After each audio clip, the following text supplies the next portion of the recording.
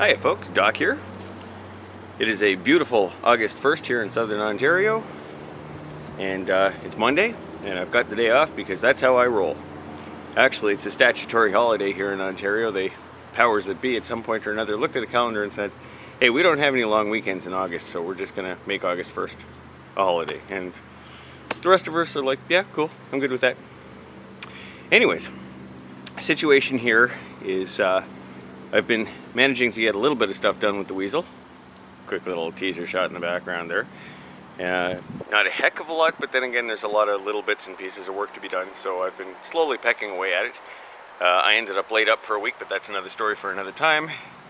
And busy and hot. This heat wave has been insane. If this isn't the hot, it hasn't been the hottest July on record for Ontario. I, I don't know what is. Anyways, a lot of days it was just too damn hot to do anything, so I didn't do anything. Needless to say, the shop's a disaster, and I've still got a lot of yard cleanup to do, and blah, blah, blah, blah, blah, but whatever. Uh, let's show you where I'm at with the Weasel, and uh, we're gonna test fire the engine, because, yeah, diesel, yeah.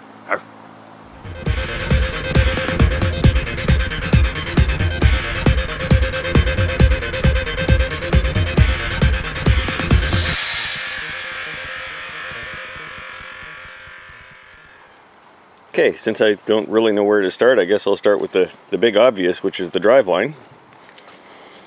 Uh, the axle's mounted and all that. Everything is fixed in place now. I've got the lock collars and everything like that. Everything's tied down and lock-tighted and uh, everything. Oh, you know what? I wanted to take an opportunity here. Um, just to kind of zoom in on the back of this wheel here and see that aluminum go-kart hub? Well, I got a pair of those for free and I just had to pay shipping. Uh, so I'd like to take this opportunity to thank Lonnie Puppet Kicker uh, for donating those to the cause. Uh, like I said, all I had to do was pay the shipping and quite frankly the shipping was, well, more than most people would pay for hubs anyways, but they're, uh, they're nice aluminum go-kart hubs. Uh, I really like them. They're, they're going to do the job well. Uh, so thanks man, I appreciate it. Anyways, moving on, back to the driveline. All right, so the axle set. I've got, I got to stop and think here because I got a lot of parts floating around. I believe that's a 48 tooth axle sprocket on there. And I've got a 12 tooth on the jack shaft, gives me a 4 to 1 final drive ratio. And I've been doing some number crunching that may be a little steep for what I need, and I won't know until I drive it and find out. Um, I've got a 48 tooth, 40, 48 tooth. Uh, I've got a slightly sp larger sprocket to go there if I have to, and I can always bump that down to a 10 if I need to, no worries. So, there's your Comet Model 40 CVT. Uh, it's continuously variable transmission. Some people call them a torque converter. That's not really the proper technical term, but uh, you know, that's what folks know it as. So there's the torque converter, there's the CVT. Uh, there's a welding tip I left lying around. Right on. Anyways, there's the CVT on the jack shaft. And uh, the jack shaft is a piece of 3 quarter inch shaft with two pillow block bearings uh, on a couple of angle iron uprights on an angle iron cross member. And uh, that center distance is measured very specifically. Uh, whenever you're setting up a standalone CVT like a Comet 40, in other words a not self-contained unit that just brackets on and away you go, you have to get your distances perfect for the size belt you're using you can't just guess it. You can't just put whatever belt on or the damn thing will not work properly. Trust me on this. we know. Anyways, yep, there's uh, there's your drive system all lined up. Obviously, I'm going to do a chain guard and a belt guard and this guard and that guard. Uh, and as you can see by the location of the footboard there, my foot's going to be in fairly close proximity to this stuff. So number one, I have to make a guard uh, just so my foot doesn't get chewed up. And number two, I think I'm going to space the footboards out a couple more inches just to make things a little bit more comfortable for me. Uh, moving under the hood. Temporarily anyways, uh, that's how I rigged the exhaust manifold. I just cut the factory muffler apart and uh, you know I didn't bother getting too crazy or too beautiful with it and uh, just capped the end where it went into the muffler and uh, did a takeoff on the side there for this down pipe uh, which ultimately is going to lead to an exhaust system that I believe is going to run under the floorboard and out down low the back behind under the axle etc that's the plan anyways. I mean, I can change these things, have welder will travel. Further forward on the machine, I'll show you the fuel system. Uh, I got this little tank here. I genuinely can't remember what the hell it's off, but uh, you know, older piece of like 70s equipment. and uh, I decided I was going to get a little creative on the fuel system. Uh, first off, because this machine is so small, I didn't have, you know, much room to locate a tank. Uh, so I chose something small, and since this is just going to be more of a showpiece slash goof off kind of vehicle, I didn't need a large capacity, and of course having a diesel helps with that. Uh, so I've got that little, damn, I think it holds like a quart. Anyways, uh, I decided to uh, decided to go all copper on the fuel, get uh, get kind of a steampunk rat rod thing going on. Um, so what I did is I dropped by the depot and I picked up a needle valve and I screwed that in. There's my fuel shutoff valve. You'll notice that I don't have a filter yet. I still have to rig that, but it's coming, don't worry. And uh, just built a little stand for the tank to sit on with a piece of angle iron and a piece of square tube. Tack that into place, fits under the hood. It's beautiful. Let me get around to the other side and show you the rest. Yeah, baby, that's the stuff. All right, so I figured I'd kind of steal a page from you know, an old moonshine still or something like that with the copper. So, coming out of the tank, it uh, tees off and goes to the return line from the fuel pump, or rather from the fuel injector. I'm sorry, I haven't had enough coffee yet. Uh, and I'm probably going to slightly alter the routing there, but that's what I had at the moment, and it's doing the job at the moment. Uh, so anyways, comes off of the tee, and I've got that little bit of fuel line there just to protect it from abrasion. I will clamp it, I haven't done that yet. Then I took about 8 feet of quarter inch copper line and just wound it around a pipe to create that coil. Uh, that probably adds about 5 minutes of runtime to the fuel capacity. and I'm going to clamp that in place of course too. I haven't done that yet so she moves a little bit but we'll get to that. And, uh, and then it just goes off to the fuel pump. So that's the Weasel's fuel system right there. Coming around to the back of the vehicle, getting down low here, you can see that back bumper I built out of angle iron. Nothing fancy to it yet. It's going to get dressed up a little bit. There's something else going in the back there, but we'll leave that for a surprise for another time. Just kind of jockey our attention off to the right here. And uh, you can see that six or seven inch, I think it's a six, can't even remember, uh, go-kart brake rotor that's uh, clamped onto the axle shaft. And what you're looking at there is the front brake caliper from a 1988 Yamaha XV Virago 250 motorcycle. And as some of you have been paying attention in the garage, there's the brand new brake pads I ordered off eBay. They came in quick. That was nice. Oh crap, I gotta get on there and give them their feedback. Uh, anyways, I previously used this exact caliper on a go-kart I built for my kids a number of years ago and eventually the go-kart got, you know, beaten to a pulp and by the wayside and I eventually got rid of it after I stripped it for some parts. So you can see this red mounting bracket here uh, that I fabricated for it for the go-kart and all I did was I reused that mounting bracket, zapped it to a piece of angle iron that goes to the frame. And that's all good right there. Here's the factory master cylinder and uh, if you have a look at it here you can see this little lever here thing and when I built the go-kart, I took off the hand lever, right, because of course this would get mounted to a handlebar. Just come around here and you can kind of see the bar mount. Um, and I fabricated this lever out of a quarter inch steel plate. And uh, you know, I originally had uh, a return spring on this little hook here. Let me just back this out a little bit. You can see where it presses the plunger.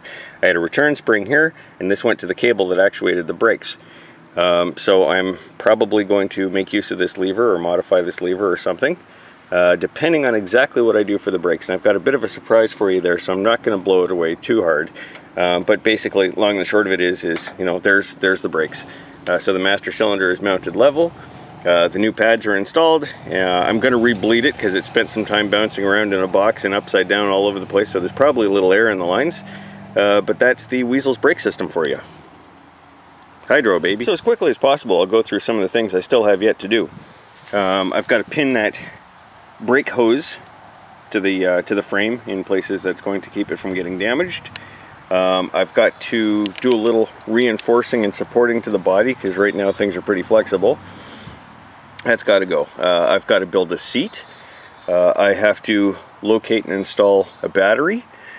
Uh, let's see, what else do I have to do here? Oh yeah, I've got to work on the controls. I've got to get the throttle reconnected and come up with a way that, um, you know, I can hold the throttle at part throttle for starting and idling and then release it completely. Uh, I know that Fearless Front Todd Christopher did it one way. I've got a couple of other ideas that I'm going to address, and if it comes down to it, it'll probably be something similar, but you know, I'm going to try a few ideas first. Uh, so I've got to get the throttle rigged. Um, I've got to get the brakes rigged. Uh, right now, if I had to stop, I could probably just, you know, pull on that lever or push on the plunger, but that's a little too dicey. Uh, tires, need to address the front tires. Garbage! Uh, I need to redo the steering because this is still temporary. Uh, those tie rods are still kind of weenie and hacked together and just, you know, barely making it so I can roll it around. Uh, I've got to rig the exhaust system. I've got to move the footboards out a little bit so I can get uh, get my feet in there a little bit more comfortably. Uh, I've got to build a belt guard and a chain guard and depending on how things go I may, might have to make a chain tensioning device. Um, obviously the CVT must remain in a fixed location and I haven't got a lot of wiggle room for the axle so I might just do a little roller or something I don't know I think I'm gonna do my first test drive and see if I deem this to be you know acceptably snug or not it's a little on the slack side. It needs to be a little bit on the slack side. You never want to chain too tight uh, but it may be too slack and I'll make that determination later. Uh, and I've probably got a few other little bits and pieces that I haven't mentioned yet or haven't thought of to mention yet.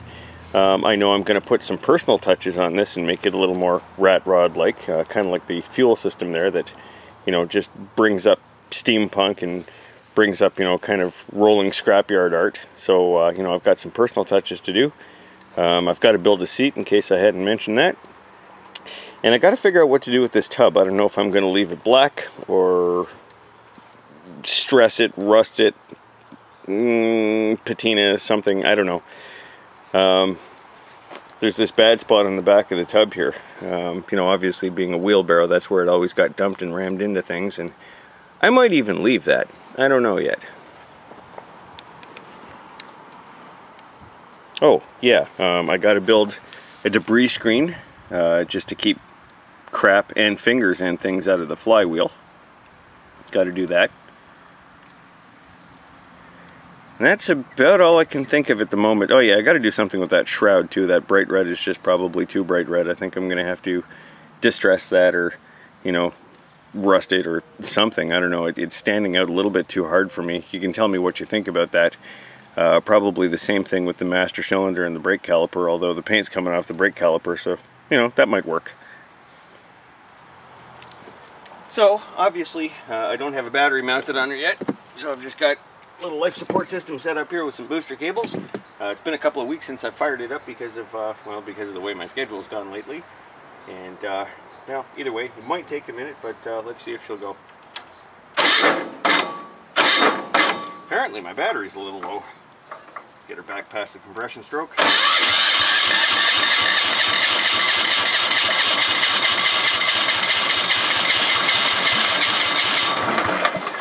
think I need a little more throttle.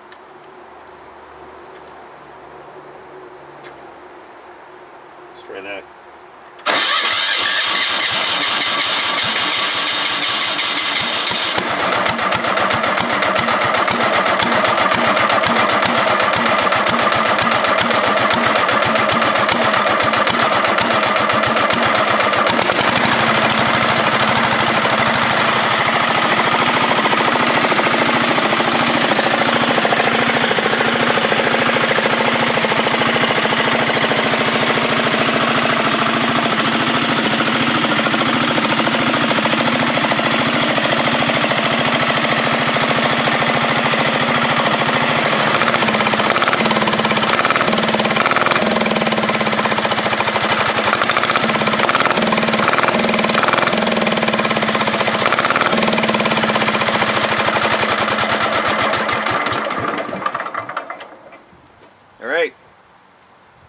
Weasel lives.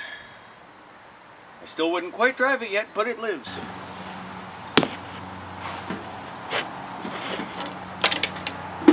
So, yeah, is it uncomfortable? You betcha. Is it going to be loud and obnoxious and probably a little scary to drive? I hope so. Anyways, yeah, that's uh, that's pretty much the rundown of the state of where things are at right now and what I've done and what I've got left to do, which is probably more than it looks, but uh, I'm having a good time with this project. I really am. This was something unique and I needed to build.